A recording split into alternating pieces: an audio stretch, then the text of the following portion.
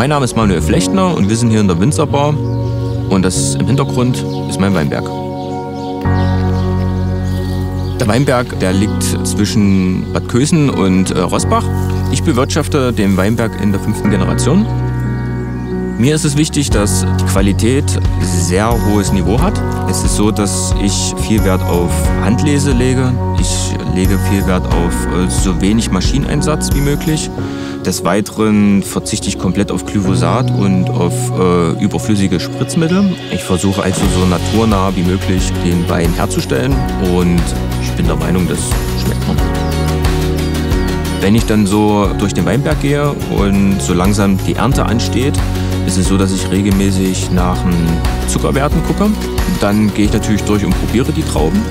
Der Reifezustand äh, der Trauben, das erkennt man auch wunderbar äh, anhand der Kerne, wenn man die Beeren aufbricht. Und wenn ich dann der Meinung bin, dass jetzt eine bestimmte Sorte jetzt gelesen werden kann, dann geht es in der Vorbereitung der Weinlese.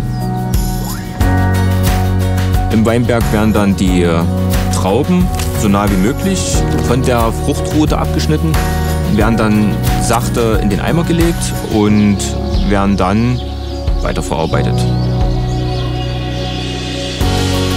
Wenn die Trauben geerntet sind, werden die Stiele entfernt. Das passiert mit einem Entrapper. Danach wird die Maische gesammelt und die bleibt dann gute ein, zwei Tage liegen, weil da die Extraktion der Aromstoffe stattfindet. Nach den zwei Tagen Standzeit wird die Maische abgepresst. So erhält man äh, den Saft der Saft wird dann mit Hefe versetzt und wenn alles gut geht, wird daraus guter Wein.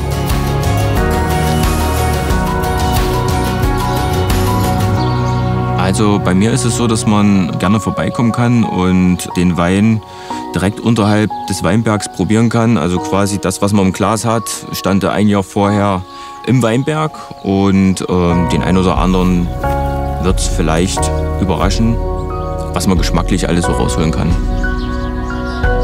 Zukünftig wünsche ich mir, äh, dass die Winzerbar sich vielleicht etabliert und ich früher oder später vielleicht sogar davon leben kann.